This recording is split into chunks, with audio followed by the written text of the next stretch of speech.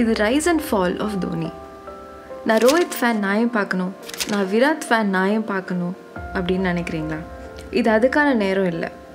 ஏன்னா இப்போ நம்ம அதெல்லாம் கடந்தாச்சு. தோனி இஸ் ஃபார்ட்டி ஒன் இப்போ நம்ம கிரிக்கெட்டில் யார் ஃபேன்ன்றதெல்லாம் மறந்து ஒரு இந்தியனா இவரை கொண்டாட வேண்டிய இடத்துல இருக்கும். இது நம்மளோட கடமையும் கூட. ஸோ வாங்க லெட் செலிப்ரேட் ஆ தோனி. ஜூலை ஏழு ஆயிரத்தி தொள்ளாயிரத்தி எண்பத்தி ஒன்று ஜார்க்கண்டில் இருக்கிற ஒரு சின்ன ஊரான ராஞ்சியில் நம்ம தோனி பிறக்கிறாரு. இதெல்லாம் எல்லாருக்கும் தெரிஞ்சது தாங்க அதனால நம்ம இப்போ அப்படியே ஃபாஸ்ட் ஃபார்வர்ட் பண்ணி முன்னாடி போவோம். உங்கள் நிறைய பேருக்கு தெரியாத தோனியோட பக்கத்துக்கு போவோம். லெட்ஸ் கெட் ஸ்டார்டட்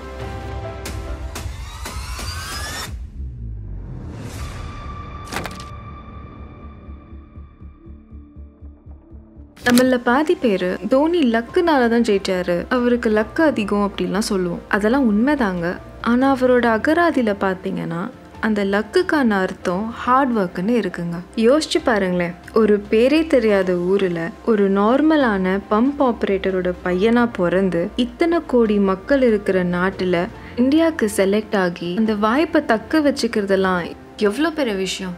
அவர் ஜெயிச்சது லக்குனாலன்னு சொல்றவங்கலாம் அவர் ஜெயிக்க கடந்து வந்த பாதையை பத்தி தெரியாதவங்கலாம் இருப்பாங்க. வாங்க அந்த பாதையை பத்தி தெரிஞ்சுப்போம். ஆயிரத்தி தொள்ளாயிரத்தி தொண்ணூத்தி எட்டுல பீகார் கிரிக்கெட்டோட வைஸ் பிரசிடென்டா இருந்த தேவல் சாஹேக்கன்ல டுவெல்த் படிக்கிற நம்ம தோனி படுறாரு. அவரோட ஆட்டத்தை பார்த்து பிடிச்சி போகவே தோனியை சிசிஎல் சென்ட்ரல் கோல்ஃபீல்ட் லிமிடெட் அன்னைக்கு விளையாட தேர்வு செய்யறாங்க அதுதான் தோனி விளையாடுற முதல் ப்ரொஃபஷனல் கிரிக்கெட் தோனி இந்த வாய்ப்பை சரியாக பயன்படுத்திக்கிறாரு அதனால அடுத்ததா பீகார் அண்டர் நைன்டீன்காக கூச் பெஹார் ட்ரோஃபியில் விளையாட வாய்ப்பு கிடைக்குது. ஆனால் இதில் சொல்லிக்கிற அளவுக்கு பெர்ஃபார்மன்ஸ் பண்ணாததுனால அடுத்த ஸ்டேஜுக்கு தோனியால் போக முடியல. அவர் டீமும் டோர்னமெண்ட் விட்டு வெளியே வருது. மனம் தளராத தோனி தொடர்ந்து தன்னோட விளையாட்டு மேல கவனம் செலுத்துறாரு. அடுத்த வருஷம் நடந்த அதே டோர்னமெண்ட்ல பீகார் அண்டர் நைன்டீன் டீம் ஃபைனலுக்கு போகுது. ஃபைனல்ல பீகார் முன்னூத்தி ஐம்பத்தி ஏழு ரன் அடிக்கிறாங்க. அதுல நம்ம தோனி எண்பத்தி நாலு ரன் அடிக்கிறாரு ஃபைனல்ல எண்பத்தி நாலு ரன் மற்ற பிளேயர்ஸா இருந்திருந்தா ஈஸியா அடுத்தடுத்து போயிருக்கலாம். ஆனா தோனியோட லக்க பாருங்க. அந்த மேட்ச்ல ஆப்போசிட் பிளேயர் ஒருத்தர் ஒரே ஆளா முன்னூத்தி ஐம்பத்தெட்டு ரன் அடிச்சாரு. அதாவது தோனியோட மொத்த டீம் அடிச்ச ரன்னை விட ஒரு ரன் அதிகமா இவர் ஒரே ஆளா அடிச்சாரு. அந்த ஒரு பிளேயர் யாருன்னு பார்த்தீங்கன்னா அவரு தான் நம்ம சவுத்பா கிங் யுவராஜ் சிங். ரெண்டாயிரத்தி ரெண்டு ரெண்டாயிரத்தி மூணில் நடந்த டியோதர் ட்ராஃபியில் ஈசோன் டீமுக்காக நாலு மேட்ச்சில் இரநூத்தி நாற்பத்தி நாலு ரன் அடிக்கிறாரு. அடுத்து நடந்த துலீப் ட்ராஃபிலையும் நல்லா பெர்ஃபார்ம் பண்ணி ஃபைனல்ஸில் ஒரு ஹாஃப் செஞ்சுரியும் அடிக்கிறாரு. தோனியோட பேர் இந்தியன் டொமஸ்டிக் கிரிக்கெட் மத்தியில் பாப்புலர் ஆக ஆரம்பிக்குது. இந்தியா ஏ அணிலையும் விளையாட வாய்ப்பு கிடைக்குது.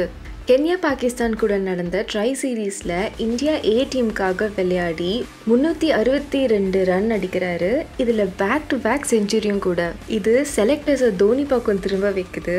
ஏன்னா இந்தியா அணியில் அப்போது ஸ்பெஷலிஸ்ட் கீப்பர் யாருமே இல்லை. செலக்டர்ஸ் நம்ம தோனியை பற்றி அப்போதைய கேப்டனான நம்ம தாதா சௌரவ் கங்குலி கிட்ட எடுத்துட்டு போகிறாங்க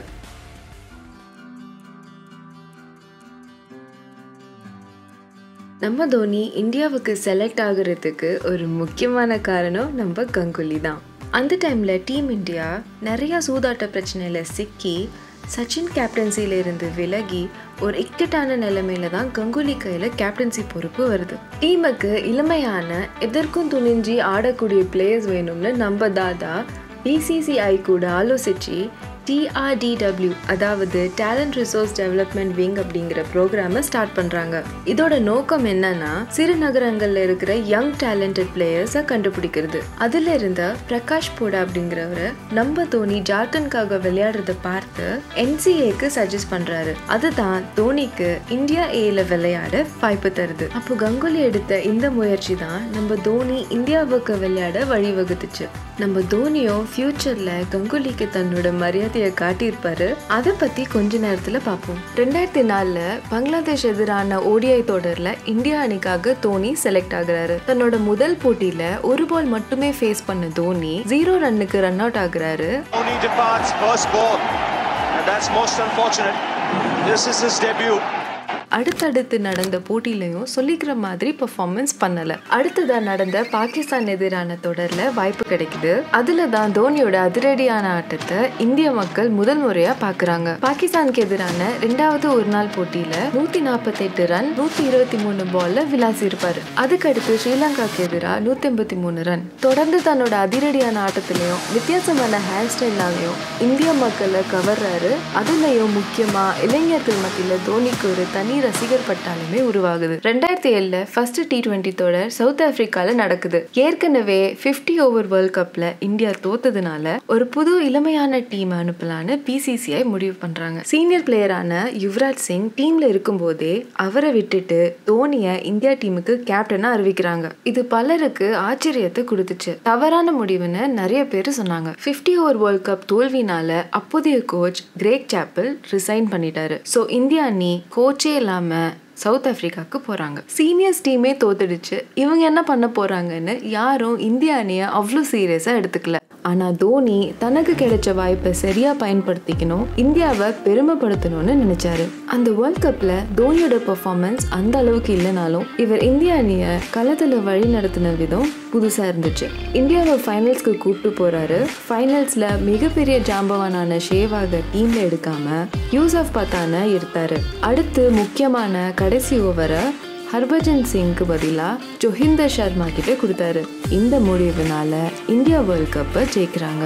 தோனியோட இந்த முடிவெல்லாம் விமர்சிச்சவங்க இந்த முடிவால தான் இந்தியா ஜெயிச்சதுன்னு பாராட்ட ஆரம்பிச்சாங்க. கத்துக்குட்டியா சவுத் ஆப்பிரிக்காவுக்கு போன இந்தியா அணி கோப்பையோட இந்தியாவுக்கு திரும்பினாங்க. ஃபிஃப்டி ஓவர் வேர்ல்ட் கப் தோல்வினால நம்ம இந்தியா அணிப்பட்ட அவமானத்தை இந்த வெற்றி கோப்பையின் மூலியமா தொடச்சாரு நம்ம தோனி. இதுக்கடுத்து தோனி ஓடிஐ மற்றும் டெஸ்ட் மேட்ச்லயும் இந்தியா அணிக்கு கேப்டனா அறிவிக்கப்படுறாரு. இதுக்கடுத்து இந்தியாவுக்கும் தோனிக்கும் வெற்றி முகம்தான் தோனி தலைமையிலான இந்த இந்திய அணி தொடர்ந்து பல வெற்றிகளை குவிக்கிறாங்க. அது வரைக்கும் ஒரு ஆக்ரோஷமான கிரவுண்ட்ல தன்னோட டீம் பிளேயர்ஸ் மேலேயே கோவத்தை காட்டுற கேப்டன்களை பார்த்துட்டு வந்தவங்களுக்கு தோனியோட காமான கேப்டன்சியும் சாதுரியமான முடிவுகளையும் பார்த்து வியந்து தோனியை கேப்டன் கூல்னு கொண்டாடுறாங்க. இந்திய அணி உலகம் ஃபுல்லாக வெற்றி பெறுது.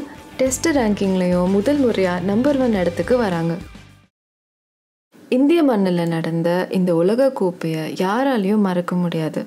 ஏன்னா அதுதான் சச்சின் விளையாடுற கடைசி உலக கோப்பை கிரிக்கெட்டில் பல சாதனைகள் செஞ்சு ஜெயிச்ச நம்ம சச்சின் அது வரைக்கும் ஜெயிக்காத ஒரே விஷயம் உலக கோப்பை இது சச்சினுக்கு மட்டும் இல்லை இந்தியா மக்கள் எல்லாருக்குமே ஒரு கனவாக தான் இருந்துச்சு. ஏப்ரல் ரெண்டு ரெண்டாயிரத்தி பதினொன்று அன்னைக்கு எண்பத்தி மூணுக்கு அப்புறம் எந்த இந்திய கேப்டனாலையும் செய்ய முடியாத அந்த சாதனையை செஞ்சு காட்டினாரு நம்ம தோனி. பல கோடி மக்களோட கனவை தன்னோட தோல்ல சுமந்து களத்தில் இறங்கி போராடி ஒரு உண்மையான தலைவனா நின்று அந்த சிக்ஸர் மூலியமா இந்தியாவுக்கு உலக கோப்பையை ஜெயிச்சு கொடுத்தாரு. A magnificent strike into the crowd. India lift the World Cup. After 28 years, the parties start in the dressing room. உலக கோப்பையின் வெற்றிக்கு பிறகு இந்திய அணியில பல அதிரடி மாற்றங்கள்ல செஞ்சாரு தோனி பல சீனியர் பிளேயர்ஸை டீம்ல இருந்து விலக்கி யங் பிளேயர்ஸை டீமுக்குள்ளே கொண்டு வந்தார். இதனால இந்திய அணி நிறைய தோல்விகளை சந்திக்க ஆரம்பிச்சுது. தோனியோட கேப்டன்சியை பற்றி முத முறையாக விமர்சனம் எழ ஆரம்பிக்குது. இங்கிலாண்டில் நடந்த சாம்பியன்ஸ் ட்ரோஃபிக்கு இந்த இளம் டீமோட போறாரு நம்ம தோனி. தன்னுடைய கேப்டன்சி பற்றி விமர்சித்தவங்களுக்கு பதிலடியாக ஃபைனல்ஸில் இங்கிலாண்டை தோக்கடிச்சு இது வரைக்கும் ஐசிசி நடத்தின எல்லா தொடரையும் ஜெயிச்ச ஒரே கேப்டன் என்ற சாதனையை செய்கிறாரு தோனி. ரெண்டாயிரத்தி பதினாலு ஆஸ்திரேலியாவில் நடந்த டெஸ்ட் தொடரில் இந்தியா தொடர் தோல்வியை சந்திச்சிட்டு இருந்தாங்க. நாலு மேட்ச் கொண்ட இந்த தொடரில் யாரும் எதிர்பாராத விதமாக மூணாவது டெஸ்ட் போட்டியின் தோல்விக்கு பிறகு டெஸ்ட் மேட்ச்ல இருந்து ஓய்வு பெறுறதா அறிவிக்கிறாரு நம்ம தோனி. ரெண்டாயிரத்தி பதினஞ்சு உலகக்கோப்பை மற்றும் ரெண்டாயிரத்தி பதினாறு இந்தியாவில் நடந்த டி ட்வெண்ட்டி உலகக்கோப்பை ரெண்டுத்துலேயும் இந்தியா அணி செமிஃபைனலோட வெளியேறாங்க. இதனால தோனி இந்தியா அணியின் கேப்டன் பொறுப்பில் இருந்து ரெண்டாயிரத்தி பதினேழாம் ஆண்டு விலகுறாரு. விராட் கோலி இந்திய அணியின் கேப்டனாக அறிவிக்கப்படுறாரு. தோனியின் ஃபார்ம் மேலே தொடர் விமர்சனங்கள் வருது. இளம் வீரர்களுக்கு வாய்ப்பு அளிக்கணும் தோனி ரிட்டையர் ஆகணும்னு நிறைய சீனியர் பிளேயர்ஸ் அண்ட் மீடியா சொல்கிறாங்க பல விமர்சனங்களுக்கு மத்தியிலையும் தோனி ரெண்டாயிரத்தி பத்தொம்போது உலகக்கோப்பை அணியில் இடம் பிடிச்சார். ஜூலை ஒம்பது ரெண்டாயிரத்தி பத்தொம்போது நியூசிலாண்டுக்கு எதிரான உலகக்கோப்பை செமிஃபைனல்ஸில் நாற்பத்தி ஒம்போதாவது ஓவர் மூணாவது பாலில் ஒட்டுமொத்த இந்திய மக்களின் உலகக்கோப்பை கனவு முடிவுக்கு வருது. ஐம்பது ரன்னுக்கு நம்ம தோனி ரன் அவுட் ஆகுறாரு. எத்தனை வெற்றி தோல்வியை இந்தியா பார்த்தாலும் அந்த ஒரு தோல்வியை யாராலையும் மறக்க முடியாது. முக்கியமாக அந்த ஒரு இன்ச் அந்த ஒரு இன்ச்சுக்குள்ளே அத்தனை கோடி மக்களின் எமோஷன் அடங்கியிருக்கு. ஏன்னா அதுதான் நம்ம தோனி இந்தியாவுக்காக விளையாடிய கடைசி போட்டி. நம்ம தோனியை கடைசியாக ப்ளூ ஜெர்சியில் பார்த்த நாள். ரன் அவுட்டில் ஆரம்பித்த தோனி ரன் அவுட்டோடையே தன்னுடைய கரியரை முடித்தார் ஆகஸ்ட் பதினஞ்சு ரெண்டாயிரத்தி இருபது தன்னோட ரிட்டையர்மெண்ட் அறிவித்தார் தோனி. கோடிக்கணக்கான மக்களோட கனவை நினைவாக்கி இந்தியாவுக்கு பெருமை சேர்த்து தந்த நம்ம தோனிக்கு நம்மளால் சரியான ஃபேர்வெல் கொடுத்து வழி அனுப்ப முடியல ப்ளூ ஜெர்சியில் ஆனால் இப்போ நமக்கு அந்த வாய்ப்பு எல்லோ ஜெர்சியில் கிடைச்சிருக்கு. அது இந்த வருஷமோ அடுத்த வருஷமோ தெரியாது. ஆனால் அந்த நாள் வர வரைக்கும் லெட் செலிப்ரேட் நம்ம தலை தோனி.